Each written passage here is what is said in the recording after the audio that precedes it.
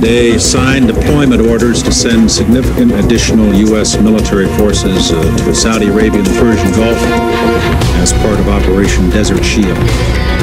In the days and weeks immediately ahead include the 7th Corps headquarters out of Stuttgart, Germany, the 1st Armored Division in Germany, the 3rd Armored Division in Germany, uh, the 2nd Armored Division forward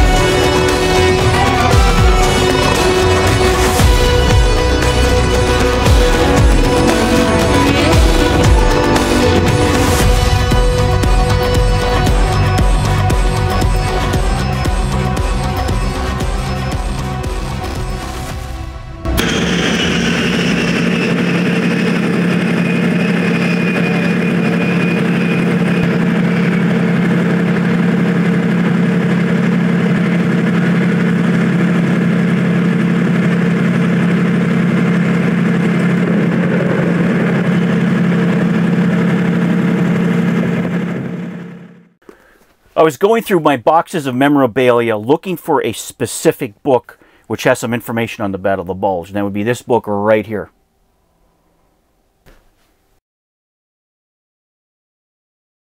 So I found that, and then I stumbled into this map case, and I'm like, hey, this is the, uh, the map case I used when I went hunting in Wyoming and Montana.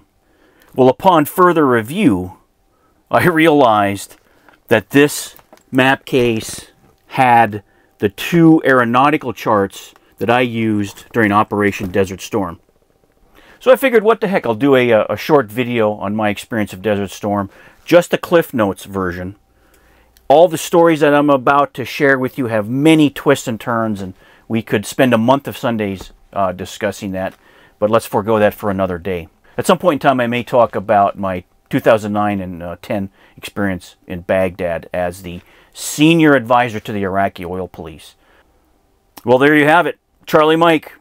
I'm Cory Lesmeister, and I was the support platoon leader for the 2nd Battalion, 70th Armor of the Iron Brigade for the 1st Armored Division. Let's start this journey at Ferris Barracks, Erlangen, Germany. It was the headquarters for the 2nd Brigade of the 1st Armored Division. We shipped our tanks and other tracked vehicles by rail right before Thanksgiving, and shortly after, we drove the battalion's wheeled vehicles to Bremerhaven in two serials, one of which I led. I was part of the brigade's advance party. I think it was about 80 men or so. And on Christmas Eve, we flew out of Nuremberg on a Pan Am 747 with other units to Al Jubail, Saudi Arabia and stayed in a quaint tent city. It was a horrible place, and I fondly referred to it as Andersonville. On the first day of 1991, we rendezvoused with our advance party vehicles. As we were gearing up to head to Tactical Assembly Area Thompson, I was halted and questioned by the brigade commander. Following a short interrogation, Colonel Meigs intervened in our meticulously planned logistics concept. He instructed me in no uncertain terms to remain behind and await the main body. In that moment, I could empathize with Benteen's predicament under Custer's command to scout to the left.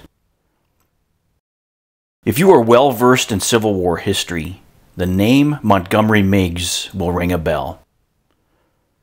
Despite my admiration for him, that decision of his still irks me. As an additional note, I possess a book he authored on submarine warfare, which he gifted to Colin Powell. Somehow I managed to reunite with my battalion at Khobar Towers a few days later. Then on the morning of January 16th, the battalion command sergeant major and the executive officer, who had just arrived from Thompson, quickly issued a series of commands and ushered me into their Humvee for the journey back. During that trip, we made a stop at a rest area along Tapline Road, only to find that the vehicle refused to start. So we left the driver to handle the situation, and the three of us resorted to hitchhiking. We made our way to Al Qaysumah and ultimately reached the battalion headquarters just shy of midnight. I reported to the battalion commander and immediately could sense from his demeanor that something was up. True enough, by the morning of the 17th, the air war had commenced. After staying in TAA Thompson for several weeks, our journey led us to Forward Assembly Area Garcia, where we finalized our preparations for the ground offensive. I navigated through the Saudi Arabian desert using aeronautical charts and a Loran C radio navigation system. To the best of my recollection, our entire battalion was equipped with merely three GPS devices. On G Day, which is ground day, February 24th, we moved out for the attack. After a brief pause just short of the Iraqi border, we resumed our advance. As dusk fell and amidst a swirling cloud of dust, I was on the verge of crossing the breach in the berm into Iraq. Suddenly, emerging from the sand, stirred by hundreds of armored vehicles, an M1A1 Abrams tank barreled straight towards my Humvee.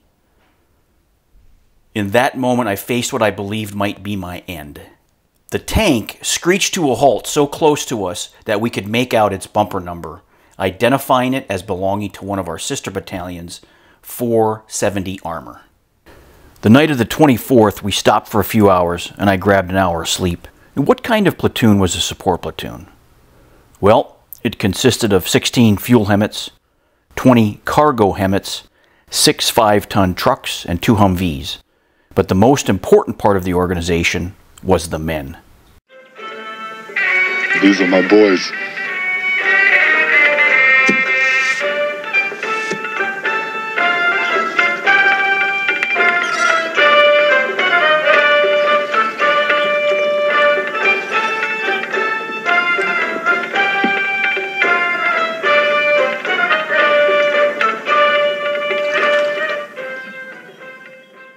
On the 25th, we moved all day toward Al Busayyah. The weather went to hell late in the afternoon.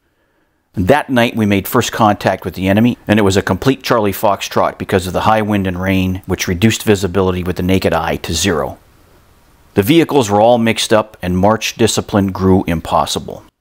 This may sound hard to believe, but 25 millimeter tracer rounds from a Bradley appeared so close it was as if we could reach out of the Humvee and grab them. I will never forget one of the tank company first sergeants had to run his M113 into a defilade position and was hollering over the radio that Bradley rounds were flying over his position.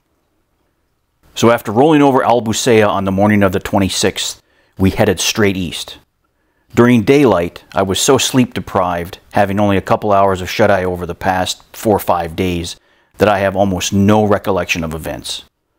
I snapped to that night from cold coffee, Copenhagen, and when one of my HEMTTs accidentally smashed into the rear of my Humvee.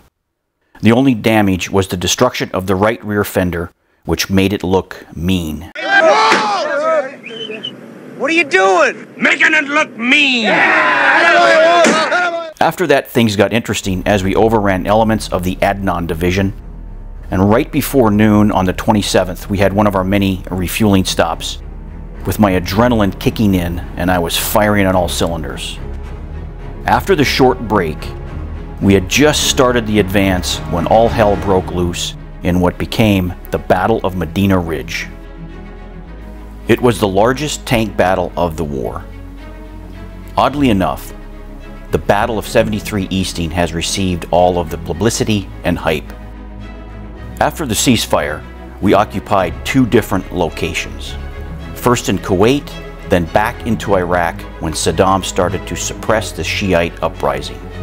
The redeployment served as both a show of force and facilitated the handling of refugees fleeing the conflagration. We stayed there until early April, then moved back to Saudi Arabia, assembling just west of King Khalid Military City. In late April, we moved back to El Khobar. I don't recall the exact redeployment date for the battalion's main body, but I think it was around the 10th of May. To sum all this up, it's hard for me to believe that 18 years later I would return to the Middle East and get to see the inner workings of the US government at the highest levels.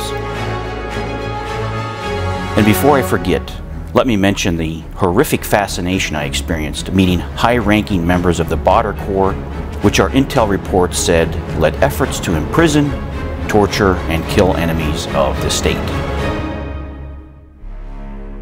33 years later, we are still engaged in the area.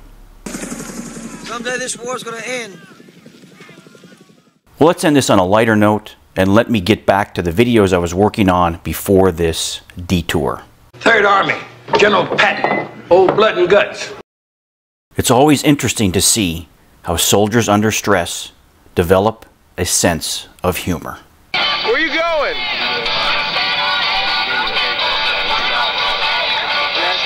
Man. The equipment exploded. There's Sergeant Mishkin. He's still walking. I don't know. Oh! Wipe your ass. Oh, God, I got that. I can't believe it. I was right on that.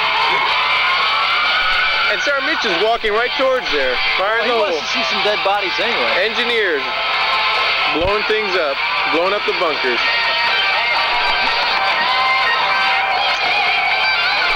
Where's he? He must be looking for a bush. I don't see anything around here. He's not looking for a tree. Yeah, that's it. I don't care who you are. That's funny right there. You can't laugh at that. You need to get out of here today.